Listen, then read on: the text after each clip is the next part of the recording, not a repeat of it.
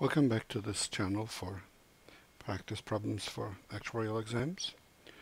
You can find information about me and other information about my work uh, at these um, websites that I'm giving you here. Please note that I'm using a redirect service, smarturl.it, and then after a forward slash you put in the word and then it redirects you to what this word suggests. So if you want to find out how to pass actuarial exams, find my advice, go to smarturl.it forward slash pass. While if you want to go to my YouTube channel, go to smarturl.it forward slash pass actuarial exams. Here's a problem for exam MFE.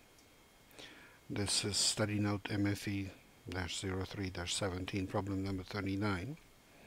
A discrete time model is used to model both the price of a uh, non-dividend paying stock and the short-term risk-free interest rate. Each period is one year. At time zero, the stock price is 100 and the effective annual interest rate is 5%. Notice this is the effective annual interest rate. It's not the force of interest.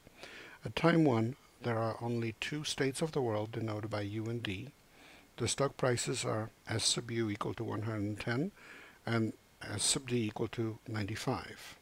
The effective annual interest rates are uh, then, at time 1, RU equal to 6% and RD equal to 4%. So these are prices, um, interest rates in two states of the world, and these are again effective annual interest rates. Let C of K be the price of a two-year K-strike European call option on the stock, let P of K be the price of a two-year K-strike European put option on the stock. Determine P of 108 minus C of 108. And my first impression looking at this is that this difference of price of put and, and call and the European is the opposite of what we normally have in the way I memorize put call parity because I remember put, call parity is call minus put equals the price of the underlying without the dividends that are paid during the option existence. But anyway, the underlying minus present value of exercise price.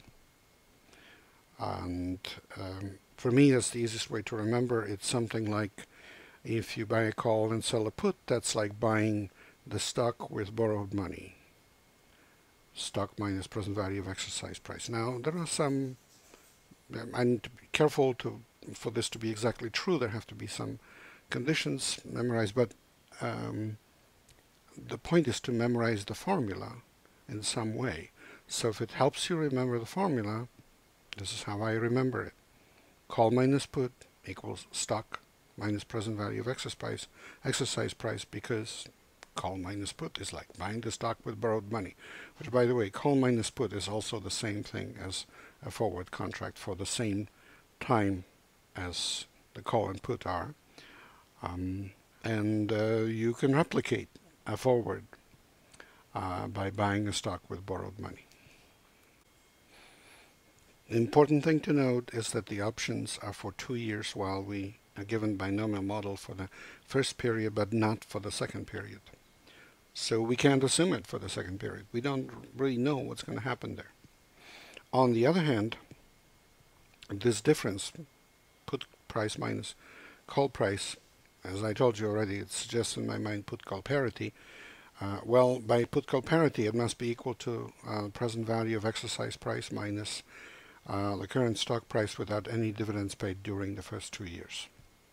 But the stock doesn't pay any dividends anyway.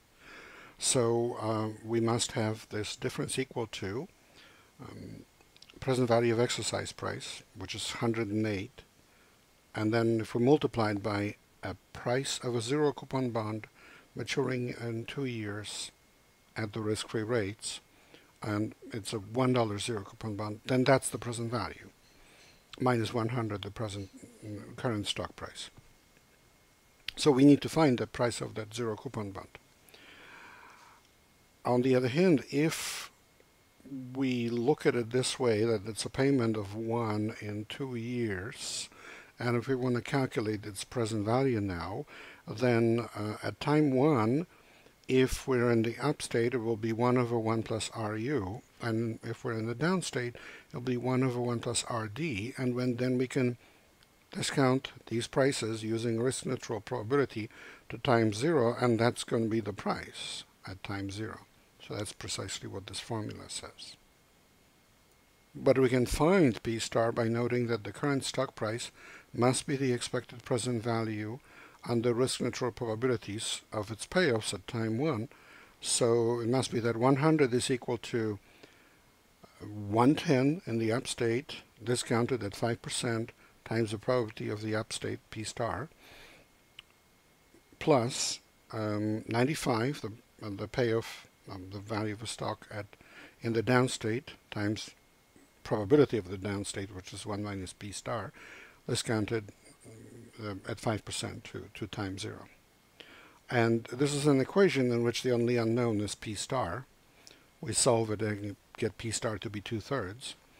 And then we plug that in for the formula for the price of a zero coupon bond, and we get the price of a zero coupon bond. So then we plug that into the formula, which says that put minus call is present value of exercise price minus the stock price, we just plug in the present value factor, which is the price of a zero coupon bond, and we get the answer, negative 2.34, and that's answer B. Please remember this is copyrighted material. Um, and please remember that any problems from Society of Actuaries or Casualty Actuarial Society are theirs, and they are reproduced with permission. And good luck with your studies and good luck with the exam.